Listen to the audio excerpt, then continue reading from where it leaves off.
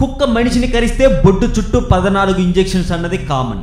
కానీ అదే కుక్క మనిషిని కరిచాక ఆ కుక్క నోట్లో నుండి నురగలు వచ్చి చచ్చిపోతే ఇది కామన్ కాదు కంగారు.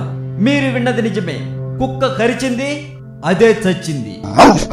ఇది ఎక్కడో జరగలేదు. కడప జిల్లాలోని ఒక మారుమూల గ్రామంలోనే జరిగింది. వినటానికి వింతగా ఉన్నా ఇది అక్షరాల నిజం. కడప జిల్లాలోని ఒక గ్రామంలో పిల్లలని వెంట వేసుకుని తిరిగే ఒక కుక్క ఉండేది.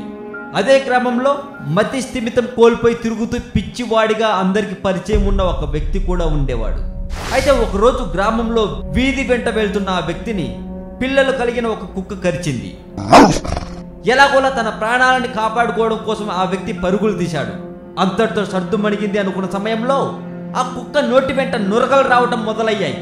పదే పది నిమిషాలు ఆ కుక్క నురగలు కక్కుని చచ్చిపోయింది. అసలు ఆ కుక్కకి ఏమయ్యింది? ఆ మనిషిని కరిస్తే కుక్క చనిపోవటం ఏంటి? అసలు ఈ వింతలేంటి? ఈ విచిత్రాలేంటి?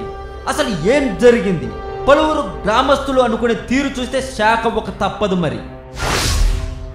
ఆ వ్యక్తికి వింత వ్యాధి ఉంది. అందుకే ఆ కుక్క కరవగానే నురగలు కక్కుని చచ్చిపోయింది అని అందరూ రకరకాలుగా చెప్పుకుంటున్నారు.